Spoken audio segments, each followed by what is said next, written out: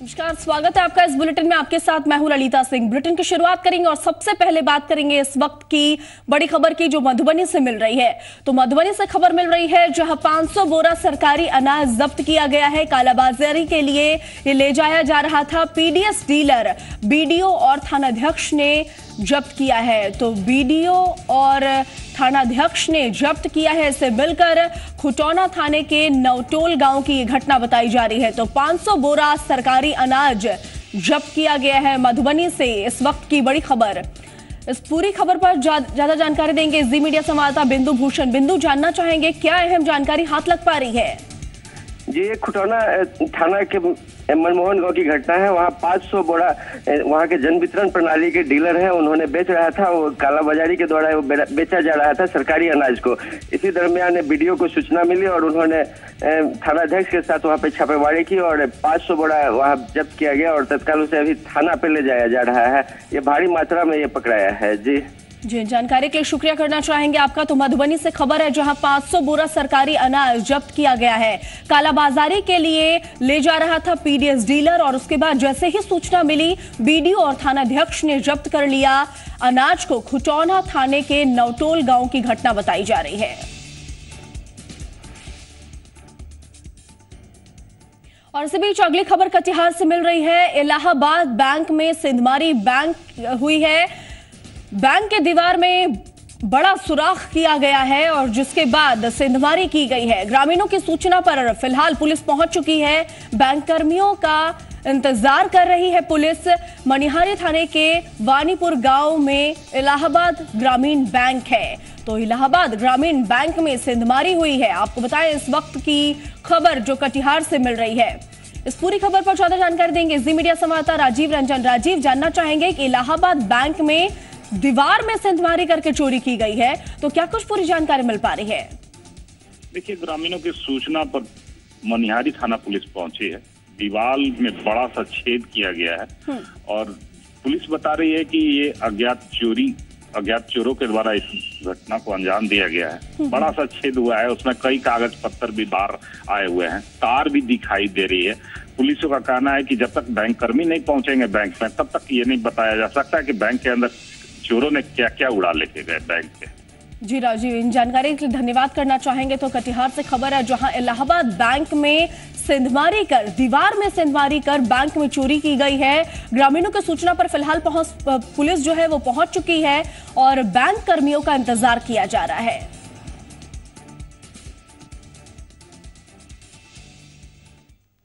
रुक करते दूसरी खबर की ओर, दरभंगा में इंजीनियर हत्याकांड के तार मुजफ्फरपुर से जुड़ते नज़र आ रहे हैं। मुजफ्फरपुर पुलिस ने संतोष झा गिरोह के दो सदस्यों को धर दबोचा है। पकड़ा गया बंटी, गिरोह का शार्प शूटर है।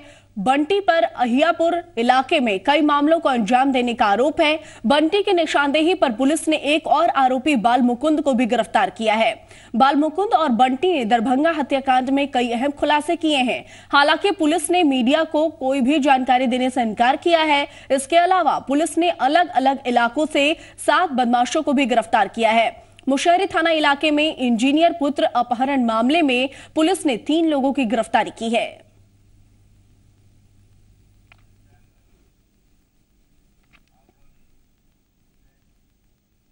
दरभंगा इंजीनियर्स हत्याकांड में बहेड़ी प्रखंड प्रमुख मुन्नी देवी ने अपने ऊपर लगे सभी आरोपों को खारिज किया है।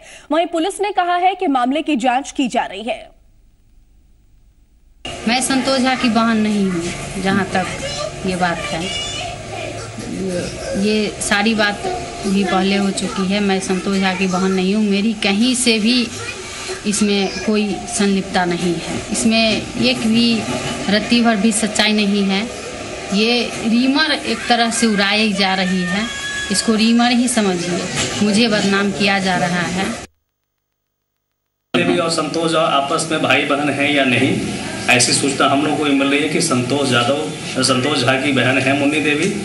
हमारे पास अभी उसके कोई दस्तावेजी साक्ष्य नहीं है, लेकिन हम लोग इस संदर्भ में भी पता कर रहे हैं कि एक्चुअली उसकी बहन है या है। क्या सेंटर देने के मामले में मुनी देवी का भी नाम आ रहा है? संजय लाल देव का तो अभी तक क्लियर है कि उनके हस्बैंड हैं। इसलिए कि वो घटनास्थल पर मौजूद भी थे। घटनास्थल के बाद ही फरार हो गए जिससे उनकी भूमिका निश्चित रूप से इसमें उनकी गिरफ्तारी होगी। सीएम रघुवर दास को धमकी देने वाले शख्स को पुलिस ने गिरफ़्तार कर जेल भेज दिया है। गिरफ़्तार महेश महतो ने बारिक हुसैन नाम के व्यक्ति को फंसाने के लिए पहले उसके नाम से सिम लिया, फिर मोबाइल से रामगढ़ एसपी को मैसेज भेजा। मैसेज मिलने के बाद पुलिस हरकत में आई और जाँच पड़ताल के बाद महेश महतो को गोला थाना क्षेत्र के मदनपुर से गिरफ़्तार किया। उनके मोबाइल पर, खासकर एसपी साहब और एसडीपीओ साहब के मोबाइल पर, इस लड़के ने एक मैसेज भेजा जिसका सार ये था कि रघुवर दास जी जो मुख्यमंत्री महोदय हैं झारखंड के, वो रजरप्पा मंदिर आएँगे तो उन पर किसी तरह का खतरा रहेगा। इसी बात का उसमें उल्लेख था उस मैसेज में। जामताड़ा पुलिस को साइबर क्राइम मामले में एक बड़ी सफलता हासिल हुई है। पुलिस ने छह अपराधियों को गिरफ़्तार किया है। पुलिस ने अपराधियों के पास से सिम कार्ड और लैपटॉप भी बरामद किया है। सभी आरोपी नारायणपुर क्षेत्र के रहने वाले हैं। पुलिस के मुताबिक अपराधी दो ग्रुप में काम करते थे। पहला ग्रुप फेक सिम से बैंक का पदाधिकारी बनकर ग्राहक को फंसाते थे, जिसमें उनके एटीएम का 16 डिजिट का नंबर लिया जाता था। फिर ये नंबर दूसरे ग्रुप को दिया जाता था और ये ग्रुप लोगों के पैसों को खाता से निकाल लेते थे।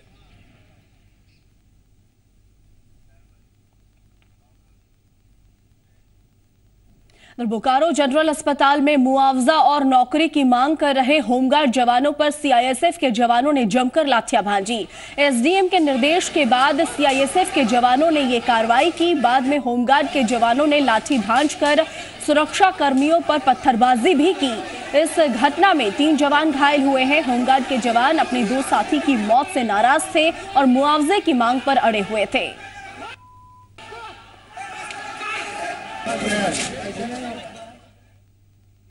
अगली खबर देवघर से है। देवघर के रिमांड होम में हंगामे का मामला सामने आया है। बताया ये जा रहा है कि दंडाधिकारी को रिमांड होम में मोबाइल फ़ोन मिलने की सूचना मिली थी। दंडाधिकारी के निर्देश पर सर्च अभियान चलाया गया और 11 मोबाइल फ़ोन को जब्त किया गया। लेकिन रिमांड होम में रह रही लड़कियों ने सर्च अभियान का विरोध किया और महिला कांस्टेबल के साथ हाथापाई करने लगी। हाथापाई के दौरान दो महिला कांस्टेबल जख्मी हो गई। रिमांड होम में मोबाइल कहाँ से आया, इसकी जाँच की जा रही है। पता चला कुछ लड़कियों के पास अंदर मोबाइल है। तो वही हम लोग मोबाइल सर्च करवा रहे थे। इसी दौरान लड़कियाँ उग्र हो गई और कुछ महिला कांस्टेबल्स पे हाथ उठा दी और उस दौरान थोड़ा विधि व्यवस्था के अंदर हम, मुझे लगा तो तुरंत और गेट वेट पूरा तोड़ने लगी। तो तुरंत मैंने एसपी मैडम को फ़ोन किया, फोर्स मंगाया, एसडीओ सर आए। केंद्रीय सड़क परिवहन मंत्री नितिन गडकरी और बिहार के डिप्टी सीएम और पथ निर्माण मंत्री तेजस्वी यादव की दिल्ली में मुलाकात हुई, जिसके बाद पटना में गंगा नदी पर गांधी सेतु के पैरलर एक और पुल बनाने का रास्ता साफ़ हो गया है। इसके लिए जनवरी के पहले हफ़्ते में केंद्र की टीम पटना का दौरा करेगी। बिहार के पथ निर्माण विभाग के प्रधान सचिव और केंद्रीय सड़क परिवहन और राजमार्ग मंत्रालय के अफसरों की एक समन्वय समिति महासेतु के लिए जगह का चयन करेगी। कमेटी की रिपोर्ट के आधार पर महासेतु निर्माण के आगे की प्रक्रिया तय होगी। तेजस्वी ने नितिन गडकरी से सड़क और पुल निर्माण के लिए संतावन हज़ार करोड़ रुपए से अधिक की मांग की है, जिसमें गांधी सेतु के पैरल पुल और गांधी सेतु के रिपेयरिंग का खर्च भी शामिल है। तेजस्वी ने बिहार चुनाव के दौरान प्रधानमंत्री की ओर से बिहार के लिए की गई घोषणाओं पर अमल करने की भी मांग की है। गडकरी ने भरोसा दिलाया है कि बिहार पैकेज को पूरी तरह से लागू किया जाएगा।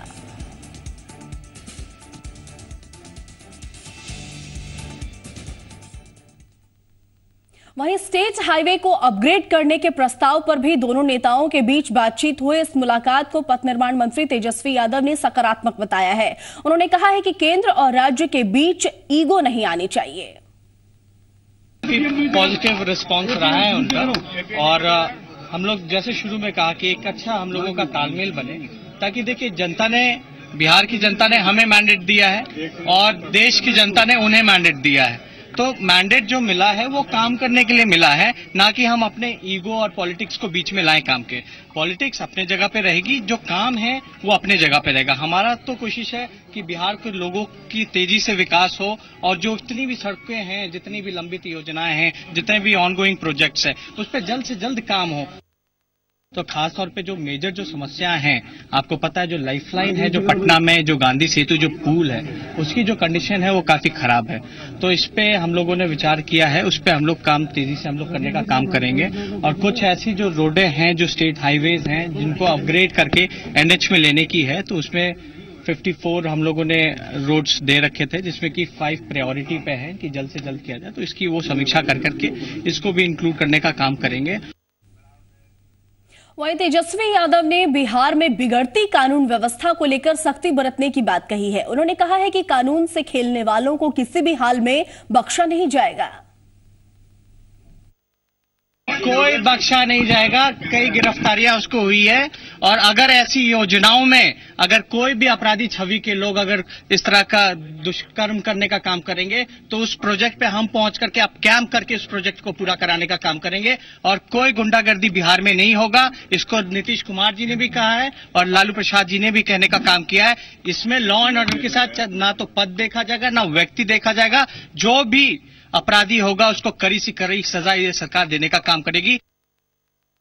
बिहार के राजनीतिक जो बीजेपी के जो लोग हैं, उनसे हम एक अपील करेंगे कि बिहार को डिफेम मत कीजिए। अभी हम लोगों का कोशिश है कि बिहार में इंडस्ट्री लाया जाए तो उनको बिहार के बाहर जो लोग हैं, उनको डराने का काम ना करें। बिहार के विकास में सब लोगों का मिलजुल करके, बैठ करके योगदान देना पड़ेगा, तभी बिहार आगे ऊंचाइयों पर जाएगा। सीएम नीतीश कुमार के राजगीर दौरे का आज तीसरा दिन है। सीएम ने राजगीर के प्राकृतिक सौंदर्य का लुत्फ तो उठाया ही, पर्यटन के क्षेत्र में चल रही विकास योजनाओं का निरीक्षण भी किया। सीएम ने वेणु वन, पांडु पोखर, होटल, अजात शत्रु, अंतर्राष्ट्रीय कन्वेंशन सेंटर का जायजा लिया और फिर फॉरेस्ट गेस्ट हाउस में पहुँचे। यहाँ उन्होंने नए रोपवे और फॉरेस्ट गेस्ट हाउस के नवनिर्माण पर अधिकारियों के साथ विस्तार से चर्चा की।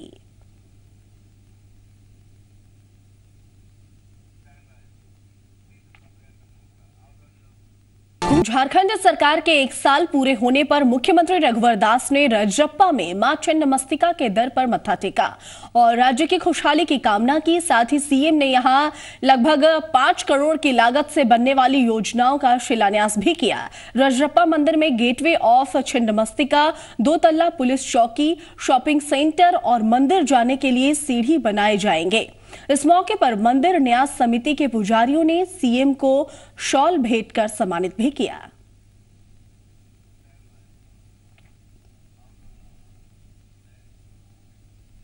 साल के आखिरी जनसंवाद कार्यक्रम में मुख्यमंत्री ने कहा कि एक साल में काफ़ी काम हुए हैं, लेकिन अभी भी बहुत काम बाकी है। उन्होंने अधिकारियों को चेतावनी देते हुए कहा कि वो जनता के मुद्दों पर संवेदनशील रहें और ऐसा काम करें कि उनके पद की गरिमा बनी रहे।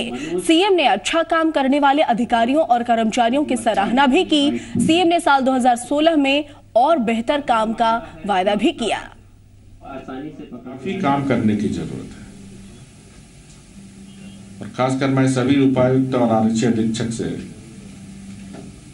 जो इस नूतन वर्ष में नई ऊर्जा के साथ, जो वन एट वन जल सुविधा में आपके पास समस्या जाती है, उस समस्याओं का हम हर हाल में समाधान करें। पद की गरिमा बनी रहे, उस ध्यान से हम सबको अपने कर्तव्य का ईमानदारी से पालन करने की ज़रूरत है। हमारी इच्छा है कि जिला से लेकर मुख्यालय स्तर पर एक संवेदनशील प्रशासन, जो बातें आपके ध्यान में आती है, उसको इग्नोर नहीं करने का, उसका समस्या का समाधान पे हमें कार्रवाई करनी होती इससे जनता पर शासन का विश्वास बढ़ेगा। पुलिस विभाग के सभी वरीय अधिकारीगण के साथ साथ सभी जिला के पूरे चाहे पुलिस वरिष्ठ अधिकारीगण हो, चाहे जिला प्रशासन के सिविल प्रशासन हो, सबको बहुत बहुत धन्यवाद, जिन्होंने एक वर्ष में सरकार पर, हमारे शासन पर विश्वास अपना प्रकट किया। हम इस विश्वास को आने वाले 2016 में और मज़बूत करेंगे। ये हमारी सरकार का संकल्प है। बहुत बहुत धन्यवाद। झारखंड में किन्नरों को मतदाता सूची में जोड़ने के लिए निर्वाचन आयोग ने नई पहल की है। निर्वाचन आयोग इसके लिए किन्नरों के गुरुओं से संपर्क कर आर्थिक मदद भी मुहैया कराएगी। इसके लिए हर ज़िले में एक स्विप अभियान चलाया जाएगा। इस काम में जिस ज़िले का प्रदर्शन सबसे अच्छा होगा, वहाँ के डीसी को राष्ट्रीय मतदाता दिवस के दिन सम्मानित भी किया जाएगा। उप निर्वाचन अधिकारी के मुताबिक चुनाव आयोग चाहता है कि राज्य में सभी किन्नरों का नाम वोटर लिस्ट में हो। आंकड़ों के मुताबिक झारखंड में फ़िलहाल तीन हज़ार से ज़्यादा किन्नर हैं, लेकिन तीस किन्नर का नाम ही वोटर लिस्ट में है। वहीं निर्वाचन आयोग की पहल का किन्नरों ने भी स्वागत किया है। किन्नरों को उम्मीद है कि वोटर लिस्ट में नाम जोड़ने के बाद उन्हें सरकारी योजनाओं का लाभ मिल सकेगा।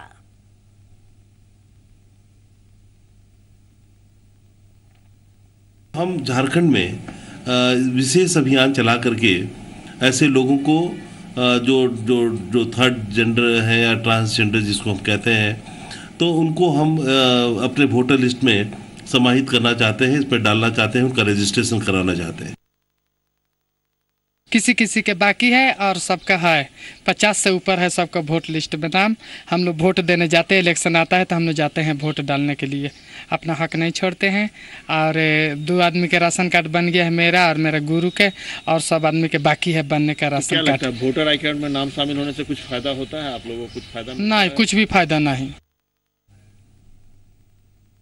रुक करते दूसरी खबर की ओर। नए साल के जश्न की सुरक्षा व्यवस्था को लेकर पटना के जिलाधिकारी संजय अग्रवाल ने एक अहम मीटिंग की। मीटिंग के बाद के बाद ये फैसला लिया गया कि नववर्ष के दौरान 70 मजिस्ट्रेट के साथ साथ 1000 पुलिसकर्मियों को सुरक्षा व्यवस्था में लगाया जाएगा।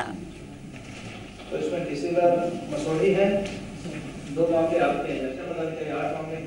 तीन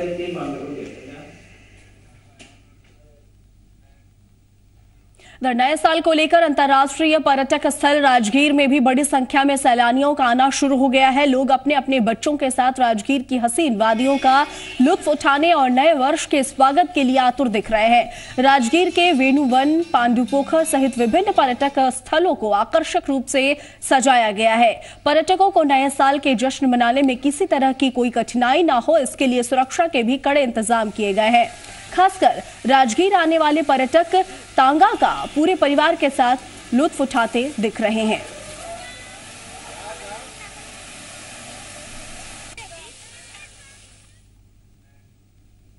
नए साल के जश्न के लिए झारखंड की राजधानी रांची भी पूरी तरह से सज धज कर तैयार है। नए साल के स्वागत के लिए पार्क सज धज कर तैयार है तो होटलों में भी जश्न की पूरी तैयारी है। रांची में रॉक गार्डन, मछली घर, Sidho Kanhu park, Deendayal park, deer park सहित कई पार्क में खास इंतज़ाम किए गए हैं। न्यू ईयर के दिन तो बहुत ही बिज़ी रहते हैं घर में एक्चुअली सब फैमिली लोग आते हैं.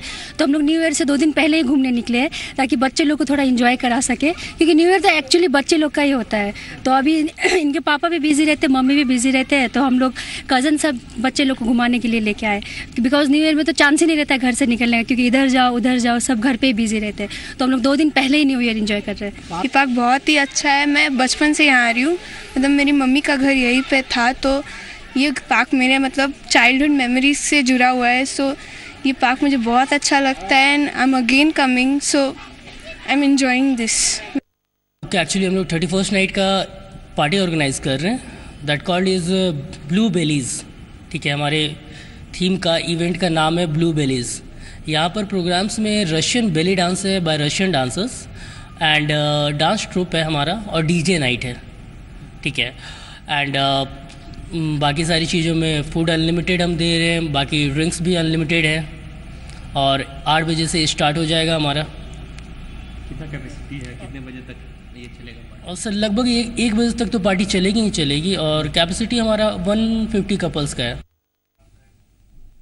अगर बिना थके, बिना रुके, अपने बुज़ुर्ग माता पिता और छोटे छोटे बच्चों के साथ आपको जू का सैर सपाटा करना हो तो आप चले आइए रांची के बिरसा जैविक उद्यान, जहाँ जू का कोना कोना घुमाने के लिए बैटरी चलित वाहनों की विशेष व्यवस्था की गई है। बिना थके आपको जू घूमना है तो चले आइए रांची का बिरसा जैविक उद्यान। बिरसा जैविक उद्यान इक्यासी हेक्टेयर में फैला है। जहाँ घूमने के लिए बकायदा बैटरी चालित वाहनों की व्यवस्था की गई है ताकि आप बिना थके बिना रुके बच्चों के साथ उद्यान का सैर सपाटा कर सके। वो भी काफ़ी कम खर्च पर। इसके थ्रू जा रहे हैं तो थोड़ा थोड़ा रुक के आसानी से हो जाता है चला जाता है। और ये बैटरी चालित है तो ये पॉल्यूशन भी नहीं है अंदर में। कई बार ऐसा होता है जब आपके साथ बुज़ुर्ग माता पिता रहते हैं जिसकी वजह से आप जू का कोना कोना नहीं घूम पाते। लेकिन बिरसा जैविक उद्यान में इन सब बातों का खास ख्याल रखा गया है। क्या होता है एजेड आदमी ज़्यादातर इंजॉय नहीं कर पाता है। बच्चे भी थक जाते हैं कभी कभी हैरान हो जाते हैं वो लोग और चल नहीं पाते तो ये गाड़ी का फैसिलिटीज़ बहुत अच्छा है कि आदमी इंजॉय कर पाता है हर एक जो एनिमल रखा हुआ है वो सब देख पाते हैं।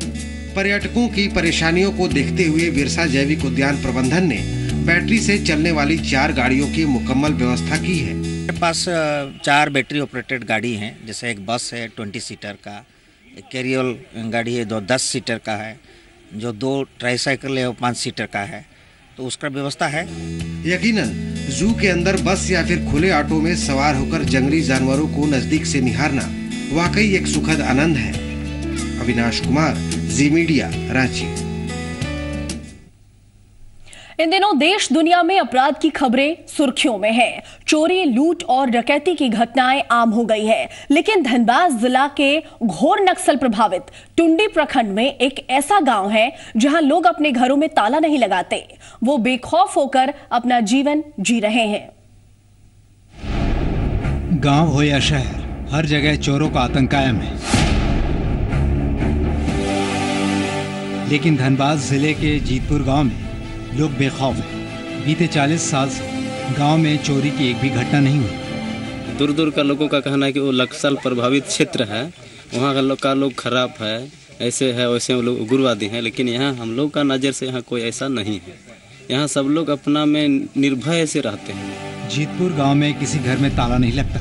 लोग दरवाज़ा बंद कर बाहर नहीं जाते। यहाँ वर्षों से लोग मिलजुल कर रहते आ रहे हैं। प्रशासन भी यहाँ की व्यवस्था को नज़ीर मानता है। निश्चित रूप से। टुंडी थाना क्षेत्र अंतर्गत जीतपुर गाँव है जहाँ जो है एक उदाहरण है।